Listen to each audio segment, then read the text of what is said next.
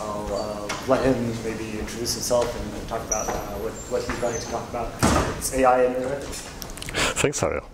Um, hi, friends. Um, so we, we have we have a, an hour, and uh, and we have lots of crazy stuff to talk about, which uh, which is uh, somewhat ill prepared and patchwork on my part. Uh, I have a lot to say on this topic, and it's an area that we've been doing a lot of thinking about uh, in uh, in my team at, at Google and and more broadly.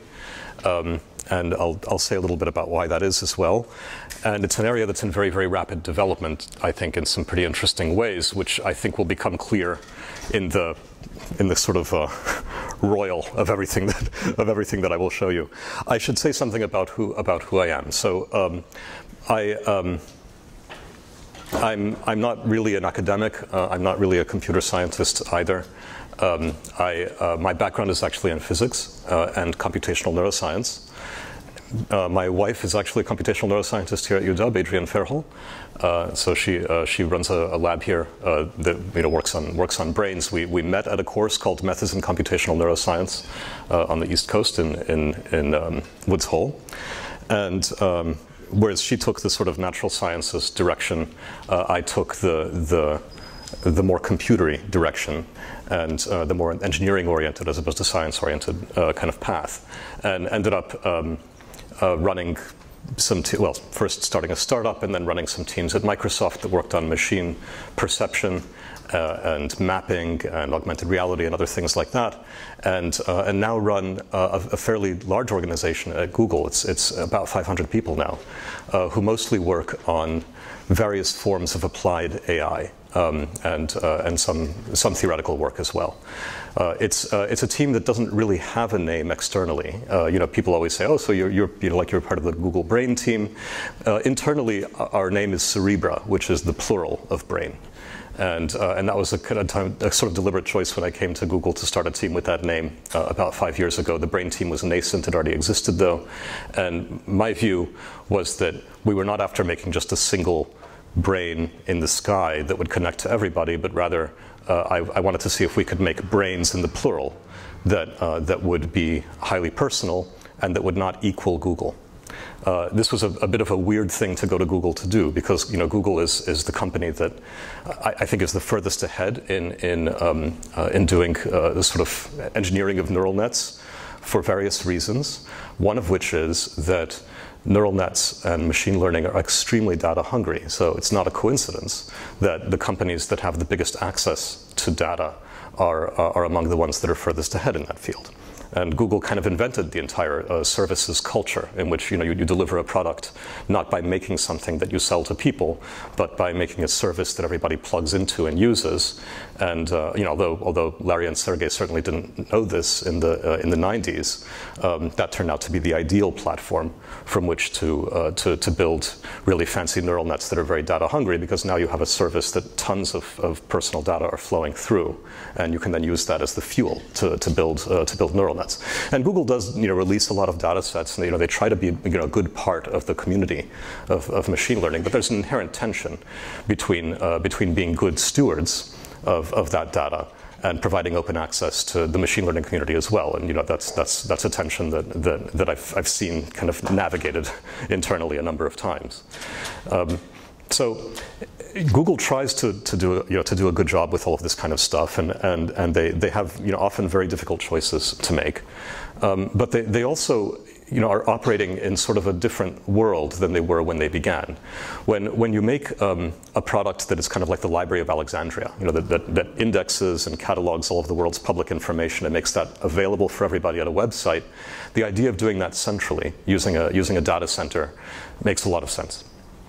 But as, as that product starts to become something that is more and more like a neuroprosthetic, which is to say something that is not just a resource, not just a library that you go to, but something that is in intimate contact with you throughout your daily experience, um, that starts to look less and less like a problem that's well suited to, uh, to a kind of services framework and something that is more suited to a, to a prosthesis. You know, the, uh, when, again, when Google began, uh, you know, the, the laptop was still, you know, somewhat of a, of a novelty in some sense. I mean, most people went to their computer. Now the computer is a part of your body. uh, and, uh, and, and, you take it with you everywhere. It's the phone, of course, that I'm talking about, although we're, you know, we're reaching a period of post phones as well. And, um, and, and they, they, augment your capabilities as a person. So, you know, what, what do you want? Do you want for that to be the extension of a company that is embedded in your body uh, that starts to look a little bit like your Borg? Um, which incidentally is the name of one of the Google systems that, that, that manages uh, large-scale server, you know, sort of deployment of, of computational resources inside. Uh, or do you want to be more like an X-Man? That uh, you know a, a, person who is superhuman rather than subhuman, because you are augmented with computational capabilities that are sort of like a, an, extension of your, your body and brain. Um, the difference is, uh, in, in, large part, where the computations are taking place and whether the data belong to you or, or to the company. And so what, what, you know, what, what I wanted to do at, at Google was to sort of push the X-Men, not Borg, uh, kind of uh, narrative and, uh, and so a lot of what we've focused on in practice has been building neural nets that, that are fast enough and lightweight enough to run on devices locally so that the data doesn't have to go to the server and then back.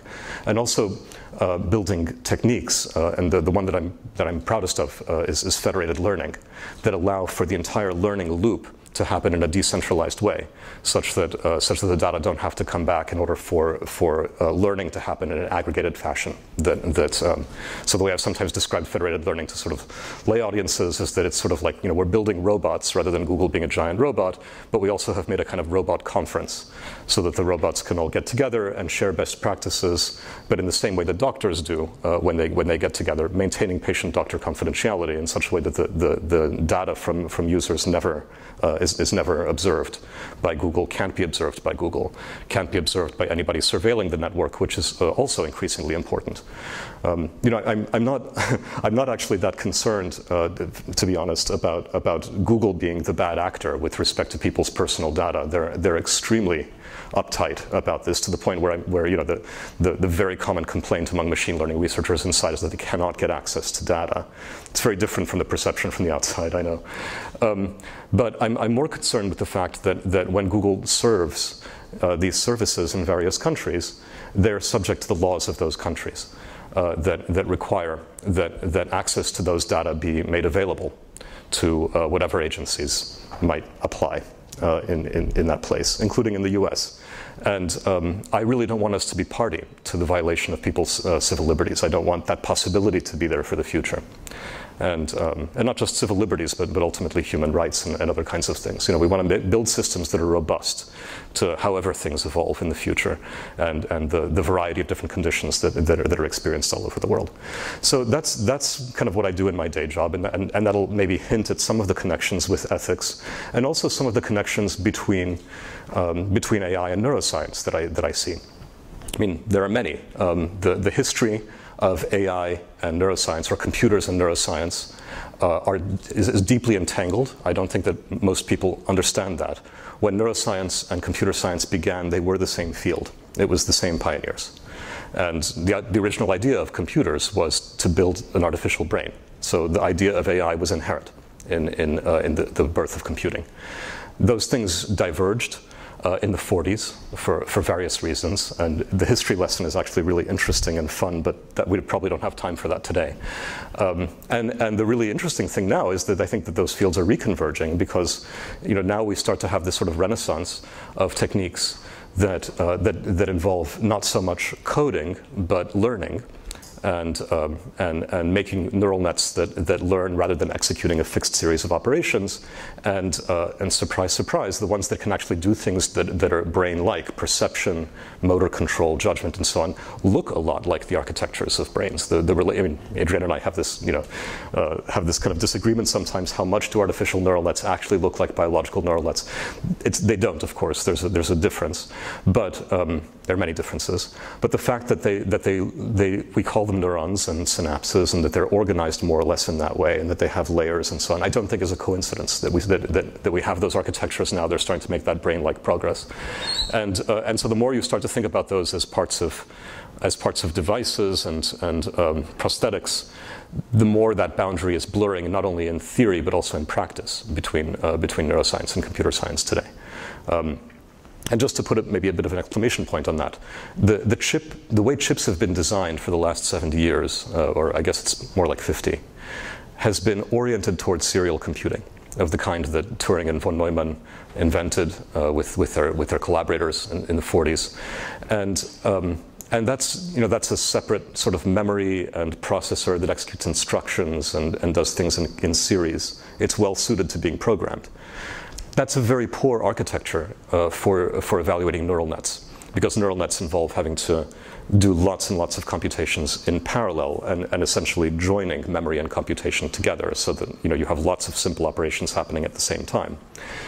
When you build silicon to do that, you can do it at much higher throughput than trying to simulate that on a serial processor. And you can do it at much lower power. That low power is extremely important because that's the way you can actually make those things uh, uh, sort of uh, cost effective and battery effective in such a way that they can become prosthetics we have encountered a period uh, you know, in which the, the, sort of engine that's driven a lot of tech, Moore's Law, uh, for the past many decades, has run out of steam along the path of increasing the clock speed of serial computing. This is the, the end of Dennard scaling for, the, for those of you who follow things like this. You know, when I was a, when I was a you know, young person, uh, kind of hacking in my basement, people still talked about how many gigahertz their machine ran. You know, that was the sort of measure of performance of your, of your machine. Nobody talks about that anymore because your watch and your phone and your, and your desktop, uh, should you have one, all run at the same gigahertz roughly. Uh, we've reached the end of that sort of scaling. And when that happened, roughly in 2006, that's when all of the chip makers began putting more and more cores onto every, onto every chip because you know, when you run out of the ability to, to upclock, you, you say, well, okay, transistors are still getting smaller, so how can I fit more computation on the chip? Well, let's do it by putting more cores on. There's a limit to that too if you're doing serial computing, because once you have a separate processor for everything that is going on in your phone, for the foreground process and the background process and location services and whatever else, then you're, you're sort of, you're done. Well, neural computing provides the answer because uh, if you start to build the chip in a way that is executing entire neural nets in parallel, then you have an endless appetite for transistors and you can keep shrinking them and you can keep running them at the speeds that they're running now or even at much slower speeds. I mean, our, our brains run at 10 kilohertz. Um, and, uh, and, and you can still get huge increases in computation. And so if you think about all of that together, you realize that over the next 10 years, the use of silicon in our personal devices is going to be overwhelmingly tipping in the direction of neural computing uh, as opposed to conventional computing. To the point where, by my guess, in 10 years' time, 99% of the silicon in personal device is going to be neural as opposed to Turing von Neumann. So, you know, in a very real sense, these devices are becoming neural prosthetics. Um, so, so let's uh, let's talk let's talk a little bit about about ethics and about why um, why ethicists are annoying. So, uh, if you've ever touched on the subject of of, um, of ethics in neuroscience, uh, then the first thing that probably came up is deep brain stimulation and uh, the ethical problems of deep brain stimulation. Uh, I, I, was frustrated by this for, for, for, many years and puzzled by it. Why is this a deep brain stimulation thing? Why is that all we're talking about? You, you plug deep brain stimulation ethics into Google and you get millions of search results, and you know all the, the, you know this is the, this has kind of dominated the, the, the discussion. Well, the, the reason is because when we talk about ethics in science generally, um, you know, first of all, we tend to only be concerned with humans and uh, that concern with humans is maybe understandable. You know, most of us uh, eat meat. Most of us don't necessarily think about all kinds of larger constructs in ethical terms. We think about, about life, liberty, the pursuit of happiness, and so on. So it's about the person. Uh, it's about the individual human. And, and, um, and as far as human experimental neuroscience is concerned, our tools are very crude the only thing that we, uh, the only things that we're able to do uh, that, that, are, that are sort of interfering in a meaningful way with the activity of the brain are things like cutting it in half or taking out big chunks for epilepsy treatments or doing stimulation, and again, in a very coarse way, just electrodes implanted somewhere deep in the brain and stimulating one of, the, one of these centers deep in the brain that is you know, producing some kind of chemical that's, that's pervading the entire thing. And, um, and it, it confronts us, even that very, that very crude tool, maybe especially because it's so crude, it confronts us with the realities of computational neuroscience in a, in a way that is very spooky. Um, again, I, you know, going really into the deep brain stimulation story in detail here is something that we don't have time for. But if you if you if you look on YouTube, you can find videos of people getting stimulated and their entire affect and personality changing as a result. Uh, it's also tremendously valuable therapeutically for people who have Parkinson's, uh, for people who uh, it's, it's you know, experimentally also being used for obsessive compulsive disorder, for depression. There are some podcasts that, uh, that have talked about this that I, that I think are very compelling uh, and worth a listen. Um, I think Invisibilia did one, uh, maybe Radiolab did one. Um, so you know, it just kind of confronts you with the fact that your brain is this thing, is this piece of machinery, and that when you monkey with it, when you you know plug in current, stuff changes. You, you can't sort of have the illusion anymore that you're some kind of a disembodied soul that is not uh, sort of generated by, uh, if you like, or connected to the physical embodiment of, of, the brain. And these perturbations that have obvious therapeutic value uh, change your own state, change your wants, your needs, your responses. So that, that, that seems like it's, uh, like it's very troubling from the point of view of thinking about what should be. Because whenever we talk about what, about what should be, about ethical stuff, uh, you know, we're using as some kind of a compass people's own wants and wishes and desires. And so if those things are not something that you can kind of rely on as being stable, right, but are affected by the intervention that you're doing, then suddenly you realize you're in general relativity rather than special relativity. Right? What I mean is that the frame of reference changes as you as you uh, as you do as you do stuff. So now, where is north? What is good? Uh, right? When good can change as you, uh, you know, for, the, for that person as you, as you intervene. So that's one of the reasons that, that deep brain stimulation raised all of these points. Um, the fact that it's a medical procedure also meant that that framework of ethics was close at hand. And that's because of the Belmont report. How, how many of you uh, know about the Belmont report and the Tuskegee study? Uh, okay, how many of you don't know about this? All right, enough that it's worth saying. So, um, briefly, this was a study that began, uh, I think, in the 30s and went on for 40 years and involved um, uh, black Americans in the South uh, and, uh, and systematically not treating them for syphilis in order to see what would happen. So uh, it was done without their consent. Uh, of course. Uh, when it began, penicillin was not yet the, uh, the sort of um, the, the, treatment of choice necessarily, so there were perhaps legitimate questions about um, about what, you know, how, how to treat syphilis or, or what the course of the disease is. But by the end, of course, uh, you know, everybody knew exactly how to treat syphilis. And, and, you know, long before the study concluded, everybody knew that this was the treatment that it cured people, that it worked.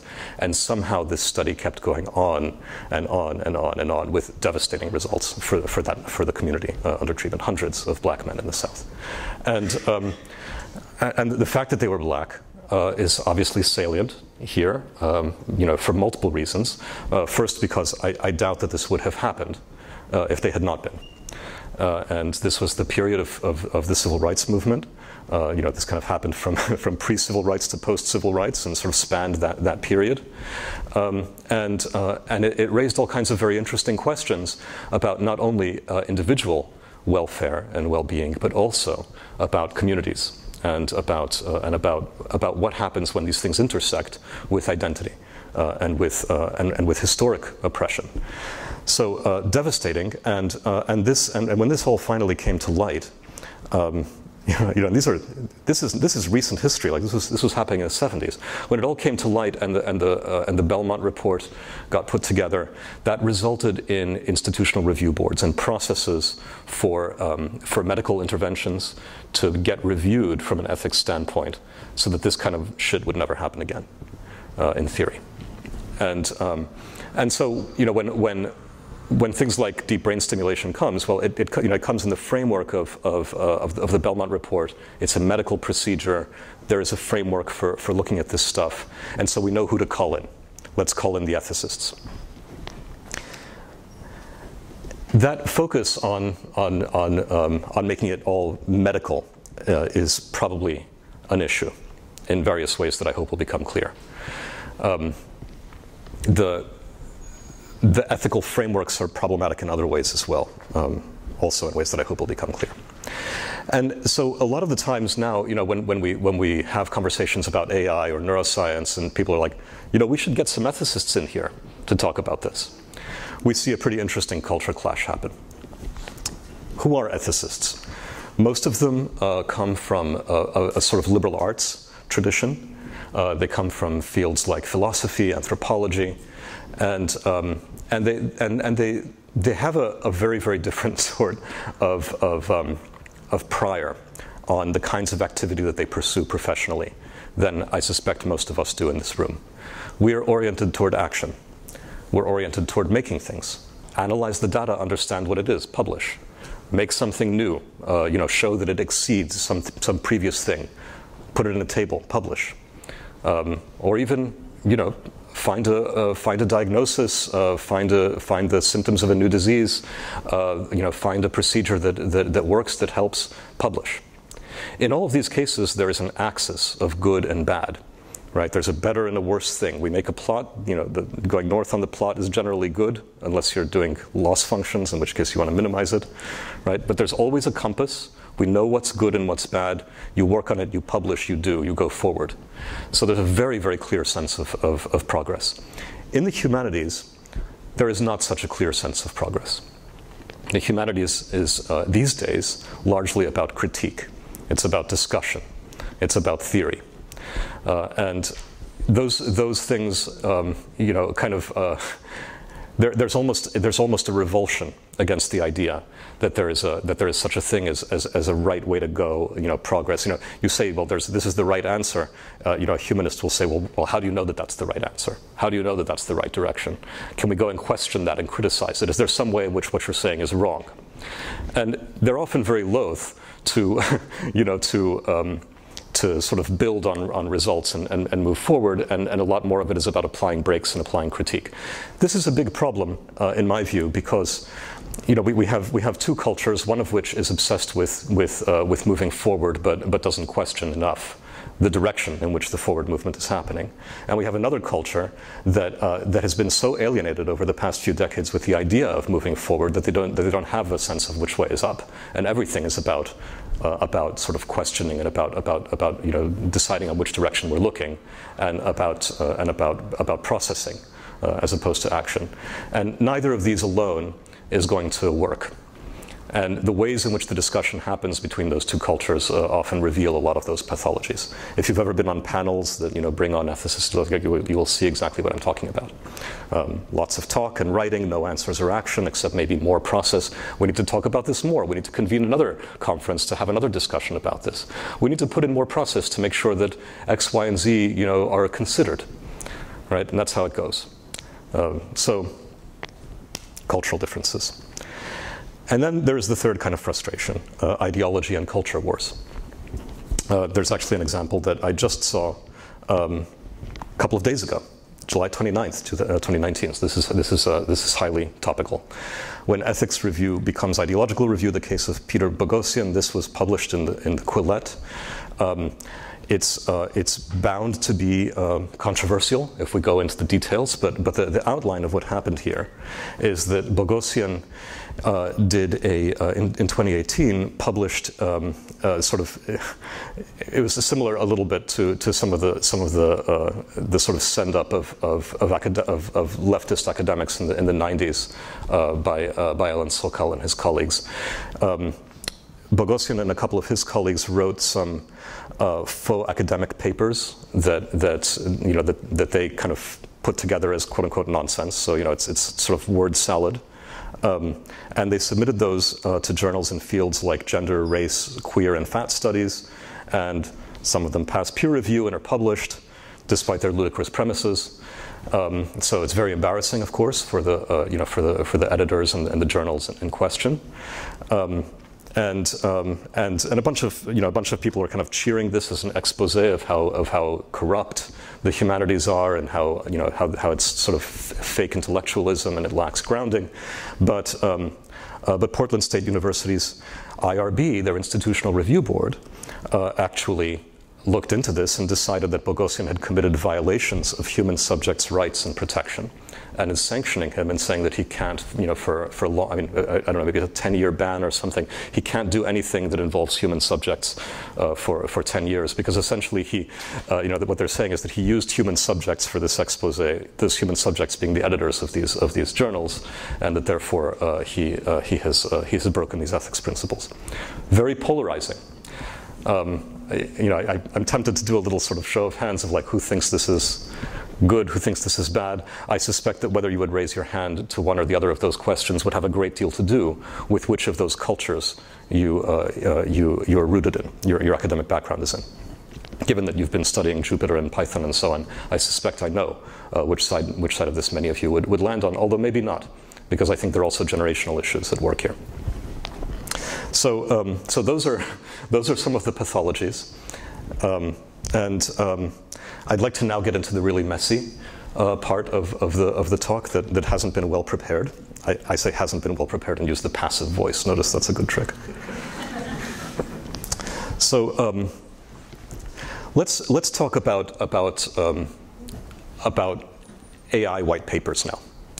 AI white papers are sort of the, the artificial intelligence version of, of, um, uh, of neuroethics. Um, this is the first AI white paper that I can find. It's from the 60s. Uh, it's called The Triple Revolution, and um, it was penned by an ad hoc committee uh, that, uh, that included lots of really interesting people.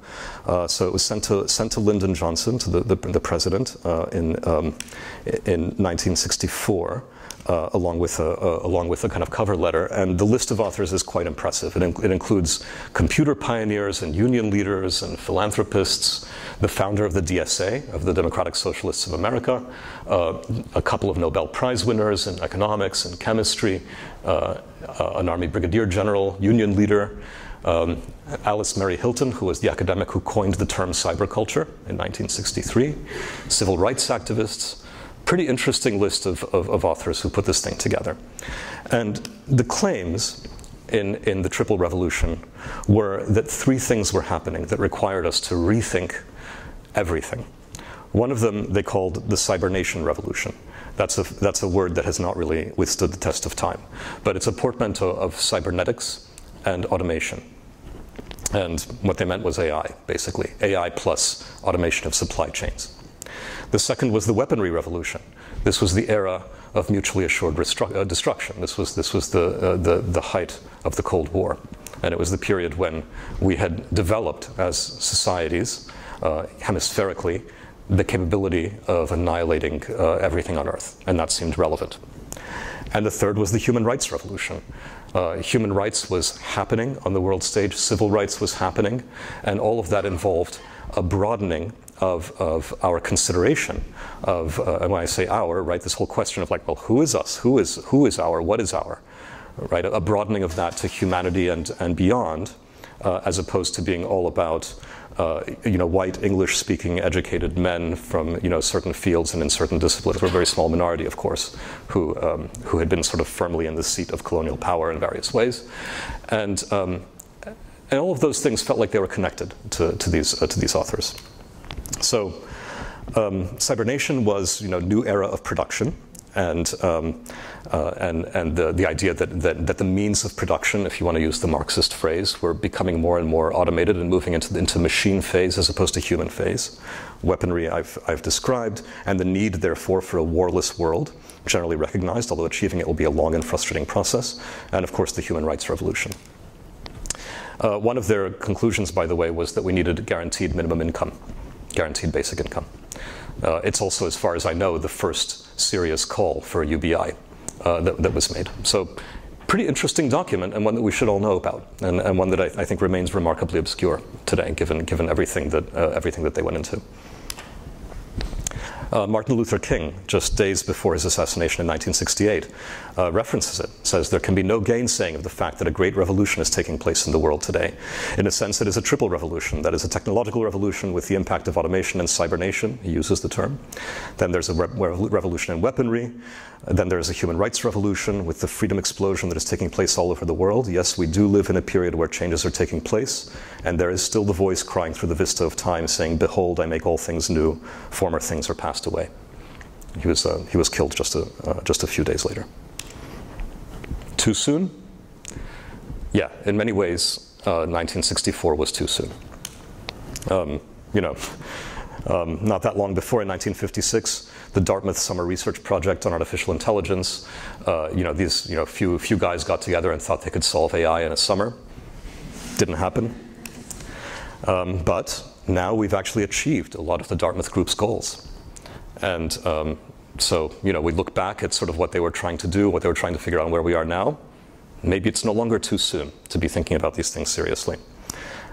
Um, Cybernation, well, uh, you know, there, there, was a, there was this attempt called Project Cybersyn to, uh, to do uh, cybernetic automation in, um, in Chile uh, between 1971 and 1973. It involved these Star Trek like chairs and this control room that would bring all of the information from the factories by telex, you know, to these, to these kind of displays. And then, like, some dudes in the chairs, dudes presumably, would make the decisions about how to, how to steer the country's uh, economy. And this could all be done cybernetically. And, you know, they'd be, you know, automating away more and more of their functions and operating at a higher and higher level.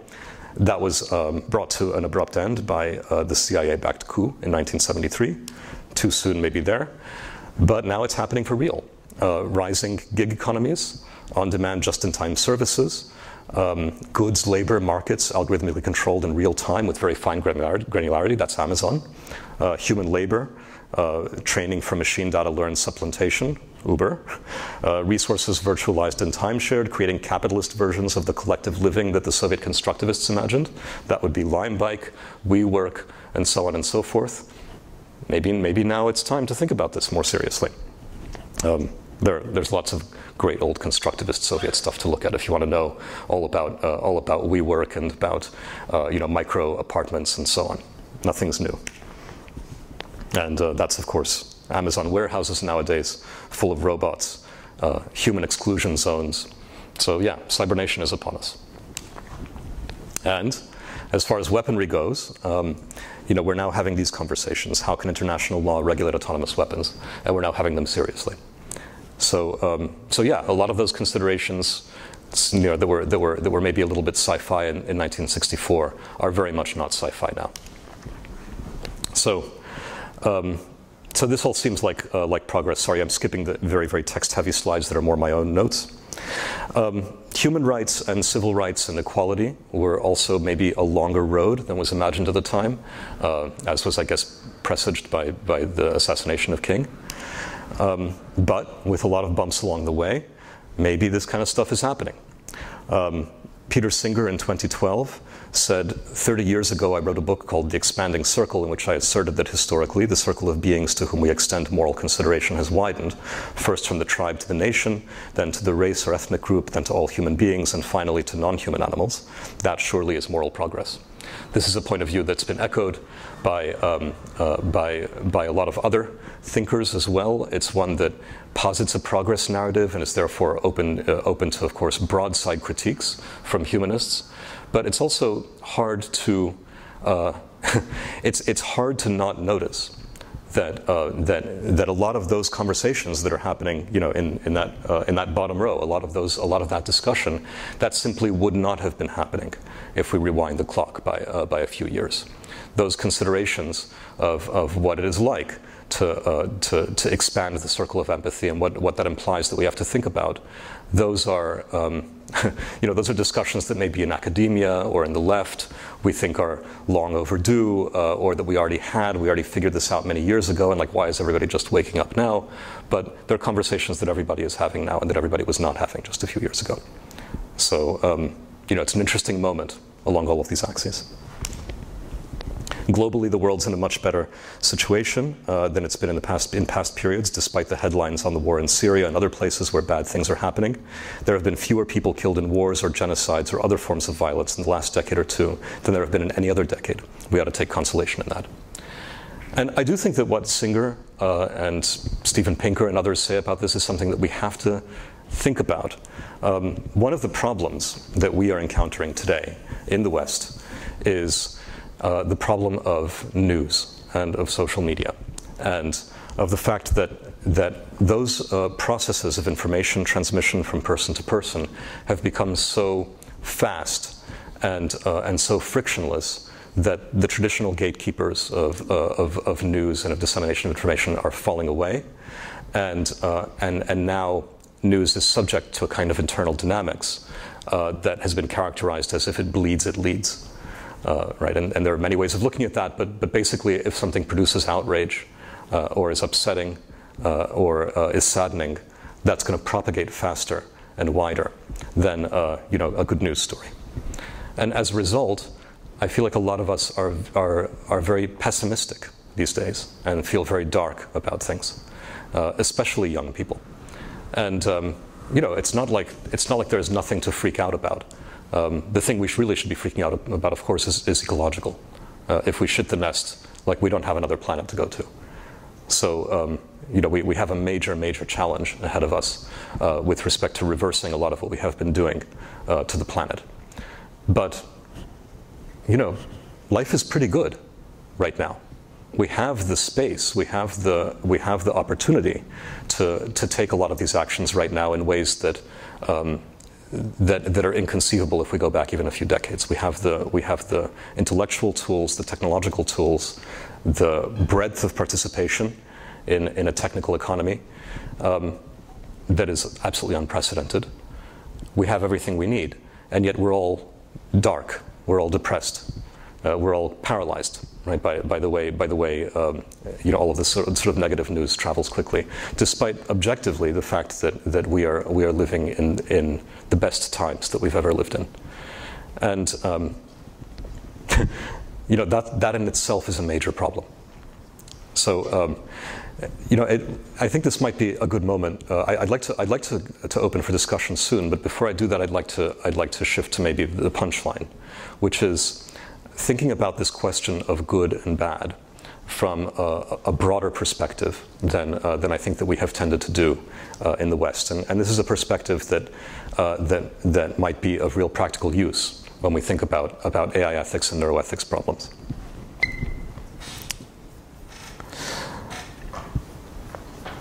So,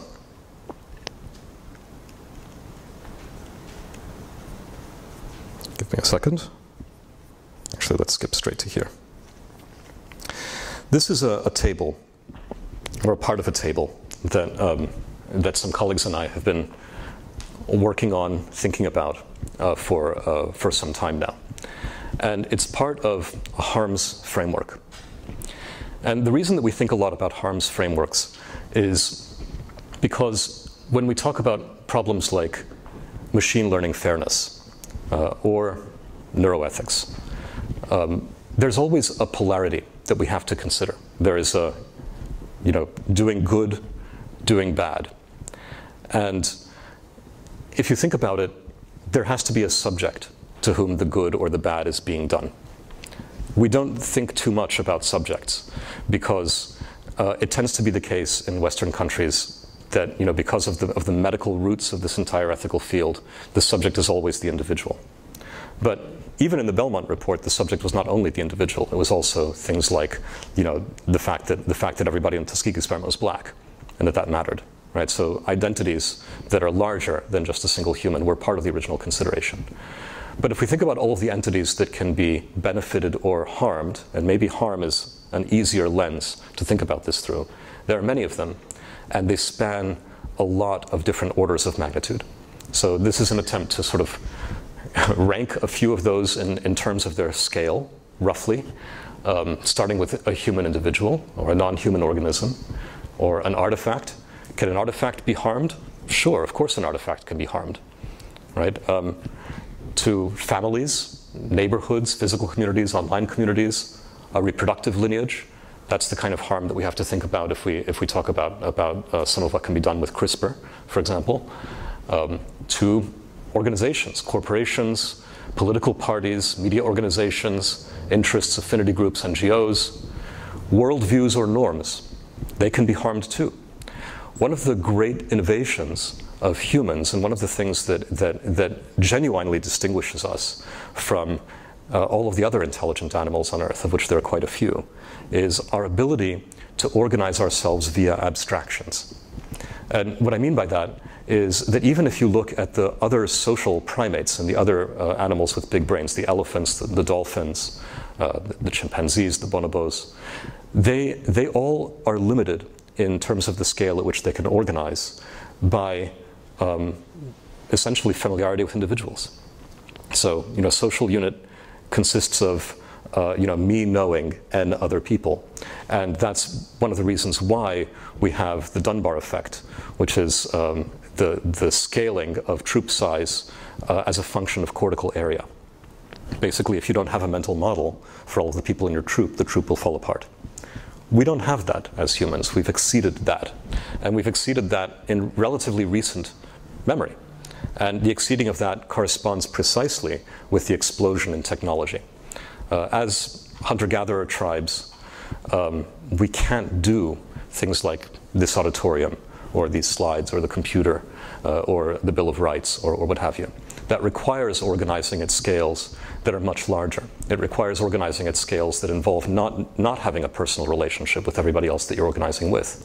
Uh, if I'm a military commander and I you know, take charge of a, of, of, a, of a unit in the army, I can assume a certain norm, a certain standard of behavior, a certain way of, of interacting and so on without building relationships with everybody that, I, that I've just taken on. And that is extraordinary, right? The fact that we're able to culturally build and transmit uh, those kinds of meta structures, of meta social structures. The same with corporations. Uh, the fact that we have these uh, fictive persons in our laws that allow us to hold companies to account for things, uh, in addition to holding people to account for things. That's fundamental. If you're not able to do that, then uh, you know, or, or, have some equivalent, some equivalent structure, then you're not able to organize people to do something bigger than themselves, and at the same time hold that bigger thing to account. So, you know, worldviews. I mean, when people talk about harm being done to democracy, harm being done to the rule of law, harm being done to the justice system, uh, harm being done to um, America's reputation abroad. Those are harms to ideas. And people feel those things viscerally, right? They're, they're real. Uh, that's, that, those things have real consequences in terms of social organization.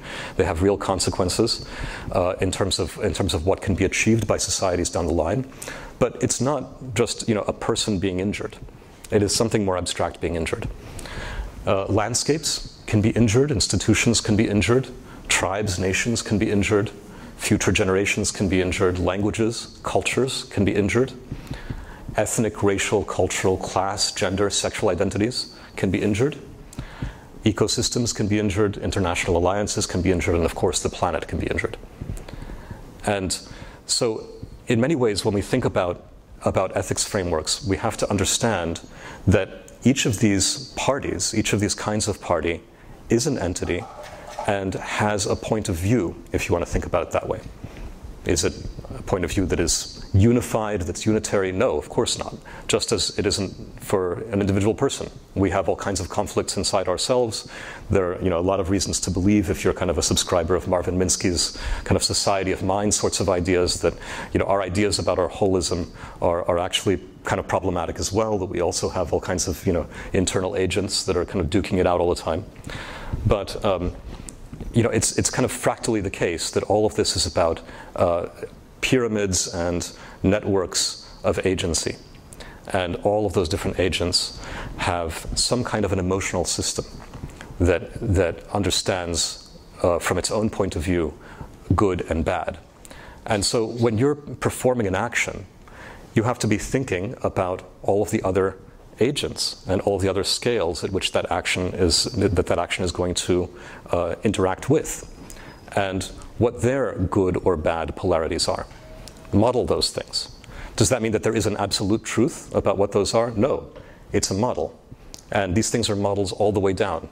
Your model of good and bad for yourself is also a model. Uh, you know, if you, um, I, I, mean, not to, not to bring this to a weird place, but like uh, even something straightforward, like whether, you know, whether pain is injury, is not a simple question. The whole BDSM community is about exploring the boundaries of that exact question. Uh, right, so consent, context, everything else matters. And we model ourselves just as we model others. So, uh, you know, if you, if you have in mind the idea that good and bad are something that is kind of handed down or that has some kind of objective reality from the outside, it, that's, that's not a model that works. It's, very, it's trivial to break it.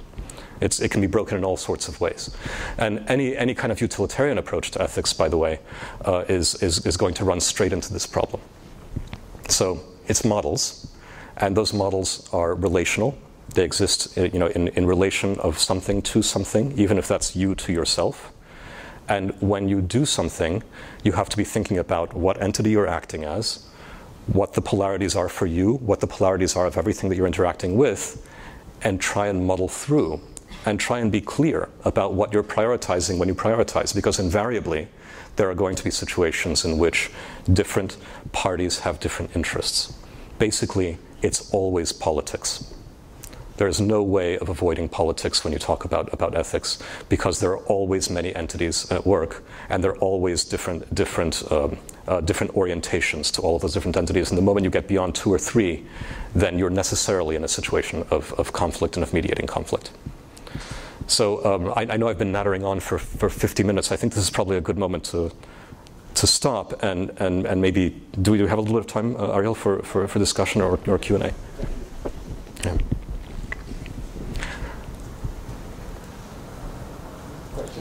Unless I put you all to sleep. yeah, in the back. I'm curious how, uh, this is a question that I think we all consider, right? Which is that we, you know, work for, some of us work for universities and things like this. You work for Google, for example, Yeah. right? And a lot of these kind of large-scale entities have really kind of problematic behaviors in in terms of like i- i- exploitative labor relations or like tax evasion or whatever. Okay, so how do Yeah. you how do you believe these things and like act on them and still like work for a university or work for Google? Like, Right. what's the sort of like, Well, the, the idea the idea that you connect your efforts with a larger thing, uh, and that um, and that you you know you ally yourself, you put your shoulder to the wheel. Um, that cannot go along with the idea that you blindly believe that that larger thing is right with respect to all of its, you know, uh, or you know that, that your model for it, right, is one that is just entirely rosy. I mean, uh, that can't be. Right? The moment that entity is complex, then there are many forces pulling in various directions. So, um, I, you know, and that's true at the individual scale as well. Like the idea that, that you know that, that you are virtuous and you never do anything bad and so on is, is nonsense, right? Everybody does things that are, that are counter to someone's interest at various times or counter to certain norms or, or what have you. So, you know, I, I think we have to we have to dispense with the idea of purity. It's just not. It's just literally not possible. And anybody who claims that they're, you know, pure and, and, and good and everything is, you know, everything is is uh, in accordance with some kind of an abstract ethical norm, I just I just think bullshit.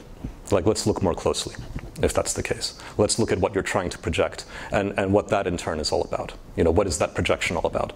So, uh, you know, should you be thoughtful about who you work for, what what wheel you put your shoulder to, why you're doing it?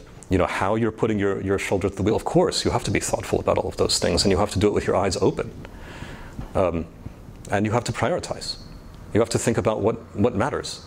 Um, i went to google because uh, you know it felt to me like if you know if, if i succeeded in doing some of these things with federated learning and privacy and on device you know ai and so on a you know doing that at google would really matter in a way that doing it at Microsoft, which you know it had become clear had lost the cell phone race, et cetera, wouldn't matter. So even if Microsoft had been more, you know, ideologically pure or whatever, which you know, it isn't, but let's pretend, right? It wouldn't. I mean, my my inclination would have been to go and not to stay because I, I care a lot more about getting this thing done than than about about whether the thing that I that I'm uh, the, the wheel that I'm putting my shoulder to, you know, is, is pure and perfect in every other way. Um, so uh, is that a is that a reasonable? Yeah, thanks so much. This is all really important. Um, my question is a little bit about, so you talked about the triple revolution white paper. Yeah. That this kind of kicked you mentioned that there have been some more recent, there have been a few white papers actually. Yes, yes, a flood, a flood of them. There's like white paper FOMO. So one, one paper I wanted to ask you about is that the recent white paper uh, from OpenAI, Yes, which was the uh, AGI white paper, where basically, uh, for who the idea was, you know, let's create a white paper on how we can ethically achieve artificial general intelligence yes, um, as a community. And, you know, thinking about sort of Sam's question about, you know, there are all these conflicting interests, there's quite a bit happening, um, there are many commercial interests in this space. Yes. Are, from your insight where you're sitting, do you think people are able to kind of wrestle with the neuroethical issues AGI is bringing up in the way this white paper is outlined, do you see any concerns there, or is there anything you're really hoping to see people consider ethically? There, yeah, for sure. Um, I, I, I, yeah, I have, I have way too much to say about that than, than I could possibly fit, even, even if I blathered on for the, the remaining five minutes. Um, I think that I think that there are good intentions behind behind a lot of those white papers. Um, I don't think that they're all just uh, just virtue signaling, um, which of course we also do. And if you think about that in terms of that harms framework, you know, virtue signaling is also an important part of what happens right, in interactions between entities. But um, uh, but these, they're more than that. There there are very good intentions there, um, but I think that there are a couple of things that are missing from, uh, from, uh, from a lot of those white papers and from a lot of the discussion. And one of them is, is the consideration of, um, of, of these larger structures and, uh, and of, of what we mean by general intelligence anyway. Um, intelligence is, I believe, fundamentally social. And I say that as an introvert and a person who doesn't actually like like people that much. but um, it's it's social in, in the sense that that it's the social animals that have it, and they've undergone that thing that we call an intelligence explosion through the modeling of each other. Uh, in other words, it's not like ethics is something that is tacked on at the end, and you say, "Oh, like yeah, we figured out intelligence, but you know, but let's put some guardrails on certain things." You know, I, I think it's actually the other way around. That the ethics ethics is actually at the, at the you know fundamental to the way intelligence arises in the first place, and in many ways, what we have to be figuring out are ecological questions about how, how to how to generate intelligence, as opposed to just thinking about um, performance on a test, which is the way most uh, AI works nowadays. It's like, well, here's the, there's the data set, and we get state of the art performance, you know, on the, on the data set. Like, do you think that if the state of the art performance increases by another 0.3%, it's going to wake up and say hello? Of course not. Right? So that's not a route to AGI. Uh, despite the fact that we achieve superhuman performance at one after the other of these, of, of these, uh, of these tests. Another big gap, and one that I think is very important, I haven't talked about China today, but this is also, uh, I think, a massively important conversation to have. They have an alternative uh, take on, uh, on AI and also on social organization and also on values, um, which uh, leaves a lot of Westerners terrified. When we look at what is happening with, uh, uh, with the social credit system, which has been very widely reported, but also, uh, and I think maybe more importantly, the securitization of Xinjiang, which involves very, absolutely devastating oppression of the Uyghur minority through total surveillance, uh, through uh, systems that will make it impossible for that community to ever do anything Arab Spring like and organize, because literally that organization, both in, in, uh, you know, on the internet and in person, is impossible. Uh, with, with, that, with that level of control. It makes anything the Stasi did in East Germany look uh, technologically lame, right? Which it is relative to what we can do now.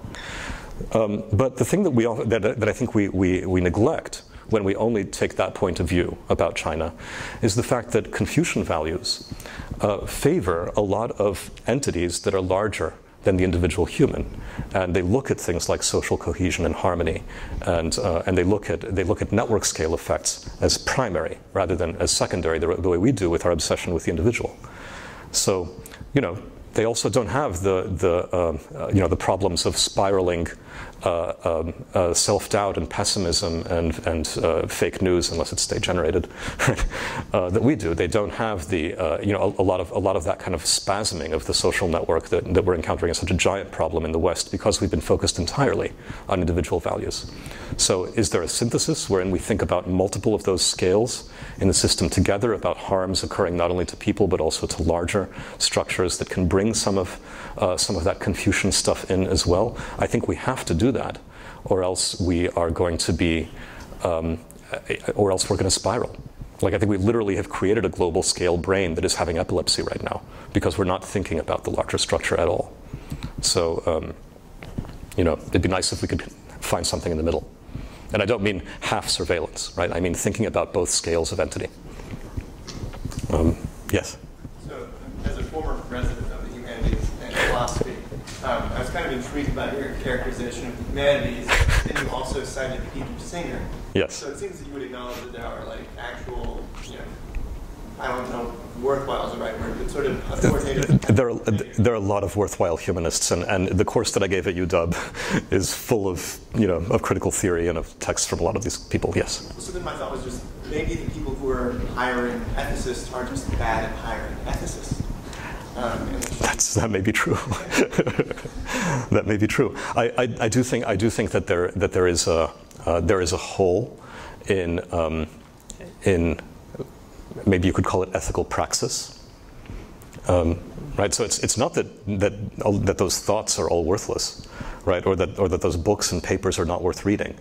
Uh, I think the problem is more that um, that there is a there is a missing muscle of how to actually do practice, how to get your hands dirty in, in some of those fields. That, that you know we need to develop something in the middle, right? So it's a, it's a little bit like the China and U.S. question. I feel like there are two there are two fairly extreme camps. One of which is uh, you know does not question, does not criticize, is illiterate, right? I mean, computer scientists and people who do a lot of the practical stuff are, are literally illiterate about a lot of the, a lot of the humanism and a lot of the thinking that has happened in these in these areas, and I think that's a huge problem. I also think it's a huge problem that humanists have been on the outside of things for so long and doing critique from a distance that they, um, that they have, in many cases, lost the, um, the touch, right, for being able to, to really engage in the problems that they're wrestling with intellectually at a practical level.